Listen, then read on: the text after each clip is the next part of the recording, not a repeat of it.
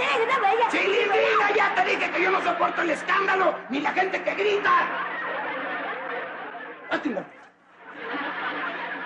Oye, chavo, ¿tú me podrías decir qué es lo que le pasa a la chilindrina? Pero se va a enojar usted. No, no, chavo, no me enojo, te lo prometo. Bueno, estábamos viendo... Pero sí se va a enojar. Digo que no me voy a enojar, chavo, no me enojo, de veras. Estábamos...